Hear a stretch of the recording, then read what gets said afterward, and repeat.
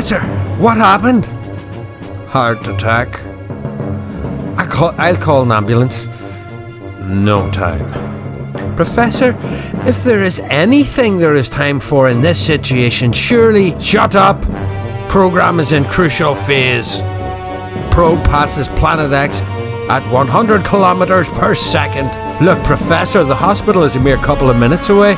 Can it? You're only a lowly janitor. I'm a professor and way smarter. You may be educated to a higher level than I, Professor, but I can stand up and you're lying on the floor dying, so I think I'm winning here. Listen! Closest point, 1,000 kilometers. Must point probe at planet. Then take photo. You can take six photos. Really doesn't seem more important than calling an ambulance right now. Your PhD isn't in prioritization, is it? Shut up! Listen! I'm kinda looking forward to you passing away in a couple of minutes. Please continue. You are a asshole! You do this in my place for the motherland. Remember, signals travel at light speed. 299.792 kilometers a second. Ah.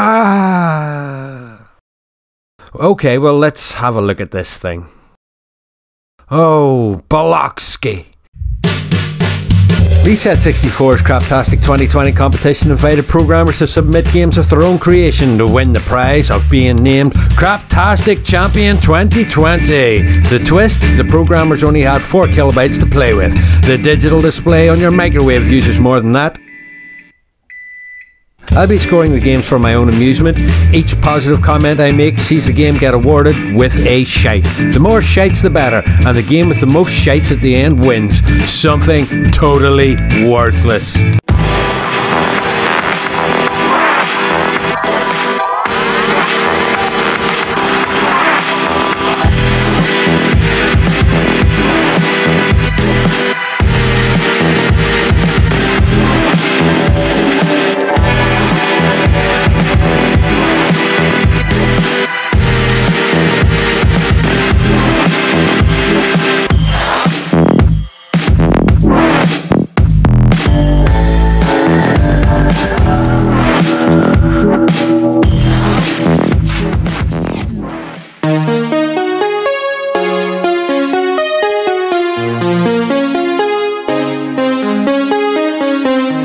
An unusual little game by GoERP here, if I can call it a game. What this essentially is, is trying to put together one equation, solve one problem. Doesn't sound like fun? Well, to a lot of people it may not be, but for me, it became an obsession.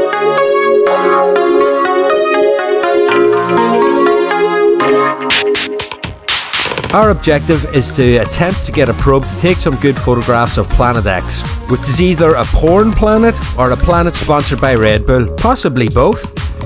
We are this dude, Pavel the janitor, and we have been lumbered with a task that put the professor under so much stress that it sent him to an early grave. Does the player still want to continue knowing this?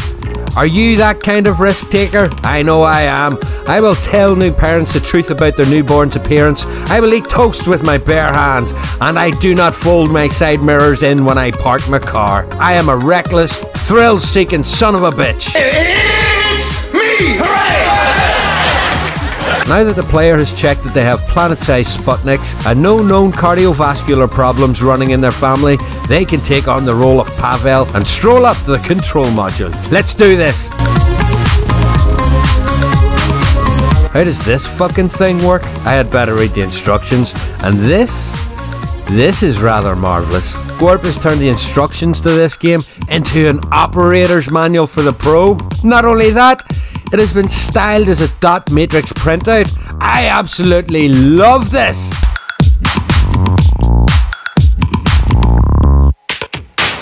This is the kind of thing that will see the game racking up the twin turd turbos at an alarming rate and make a mockery of the whole scoring system, which, let's face it, has been fatally flawed from birth.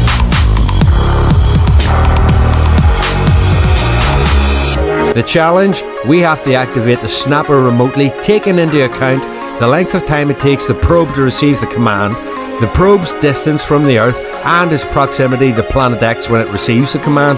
Allow me to show you the control panel. This is the Earth, and this is the distance that the probe is from the Earth, always increasing.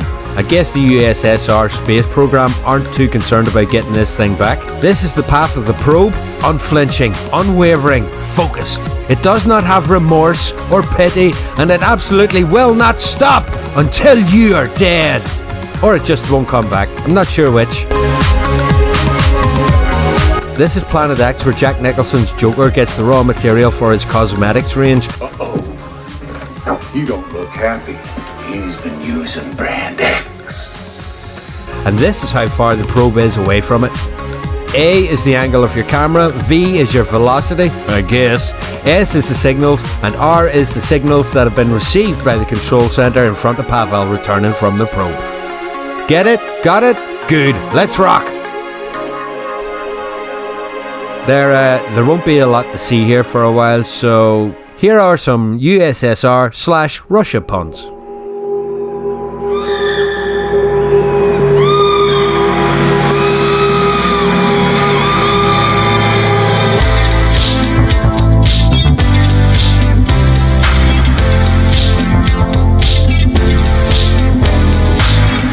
Have been putting a lot of effort into these puns, really leaning into it, but I realise that not everybody likes puns. If this stuff isn't for you, then so be it. That's three Russian puns on the trot. Ski. Four! I must go for at least five puns. Yes!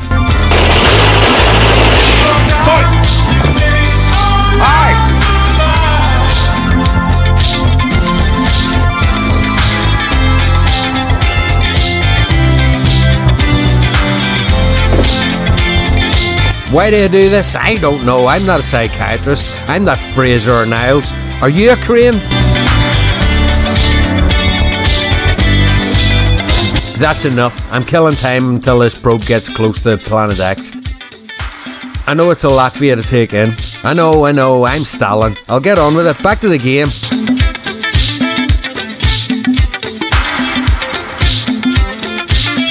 It's not ready. Uh, rather than watching me thinking, let's run through a few aspects of the game where it can accumulate. Yes, Kakashik. No turds. Gameplay. None to speak of, really. Adjust the angle of the camera, then wait for quite a long time. Then batter that fire button six times. That's it. We are required to do nothing else with our hands. The only way to win this game is to put in the hard miles with your thinking organ. Graphics. Not much to say here either. Do you like to watch your electricity meter roll up? Then boy do I have the game for you. Sound.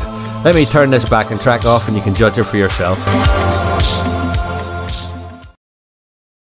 Yep, not a blip nor a blop. Hang in there though, player. It does have redeemable qualities though. This game has personality. Personality goes a long way. Your mother fucking right it does.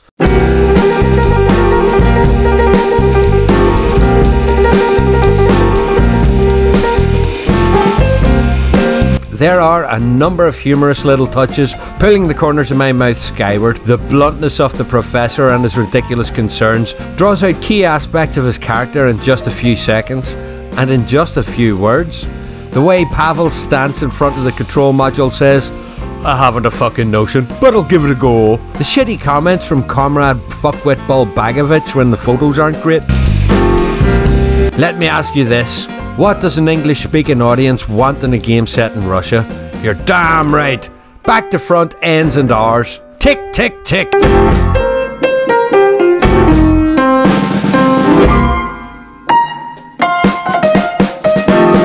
I don't know if the programmer wanted us to take this game seriously, but I absolutely haven't. It has too much charm about it to get hung up on technical aspects. I'm not sure a lot of people would enjoy this game. In all honesty, I'd be surprised if many people give this game the chance I think it deserves. It's a rare day when a player wants to break out a notepad, pencil, and calculator to play a video game, and this game requires those things as much as a joystick. I know that if I hadn't have been reviewing this game, I would have switched it off before my first go ended, and that, well, That would have been a shame because what is even more rare is to see the programmer's personality leaking out of their game and standing in front of you like a proud nudist. I find myself in a dilemma here. The game is not fun, but I still like it. Is it because GoERP's sense of humour is oozing out of the project? I don't know. I'll give it one more try and maybe if I get it right this time, well, who knows.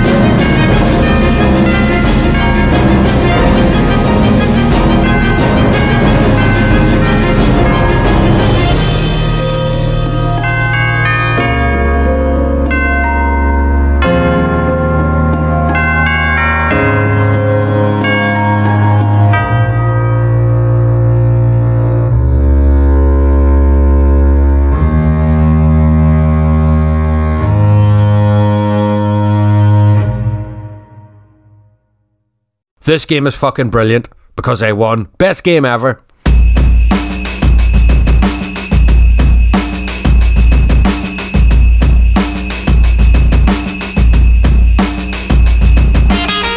Nineteen ninety one USSR Deep Space Probe Janitor is available for free download from the C64 Scene database at csdb.dk and in the Craptastic 2020 competition compilation at itch.io. Links for both are in the description below, and if it's not too much trouble, you know what I'd like you to do here.